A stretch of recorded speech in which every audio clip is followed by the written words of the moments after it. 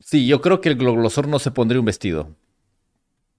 Así que la gente que cree que el, que el más loco de Twitch Perú es gloglosor, no, el cañita creo que es el más loco. El gloglosor sí hace algunas cosas más raras, pero lo hace con gesticulaciones. El cañita va más allá, ves a sus amigos y por ahí se mete su vestidito negro. Sí, sí, ya eso se, se entrega más al show, creo. Eh. Igual lo estoy retando, ¿no? Al gloglosor para que se ponga un vestido, ¿no? Si se pone un vestido, ya queda número uno y mira, o sea, le ha encantado. El señor está ahí viviendo la vida tranquilo, ¿no? Twitch Perú, la comunidad de Twitch Perú va a crecer como nunca. Estamos viendo acá grandes talentos. Tenemos acá al Cañita que está dándole todo, todo, todo al streaming. Grande. Este, no me esperaba menos, la verdad, de la comunidad peruana de Twitch. Estoy orgulloso. Creo que vamos por buen camino, sobre todo. Eh, haciendo contenido variado, contenido profesional, ¿no? Yo creo que un poco más, si Auron ve esto, yo creo que lo recluta a Tortillaland de frente. Sin, sin más, sin más.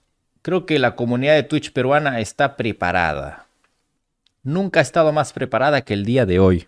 El día de hoy se demuestra que el 2023 es el año de los streamers peruanos.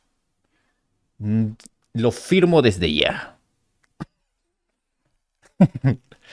Lo firmo desde ya. Yo creo que ya la madurez la tenemos, chat. O sea, ¿están viendo la calidad de streamings que ofrecen los peruanos? Yo creo que, o sea, más allá, creo que la gente tiene envidia de la espontaneidad y profesionalismo. No sé por qué no me deja donar. Esto es una prueba si funciona Andy Mira y Gojos.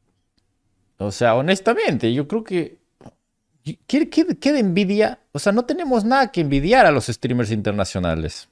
¿Verdad? No tenemos nada que envidiar. Tenemos lo nuestro.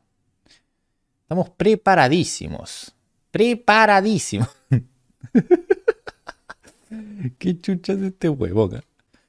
Bueno, amigos, es una cosa increíble. La verdad es que yo no lo puedo ni creer, ni creer. Una cosa de locos, de locos.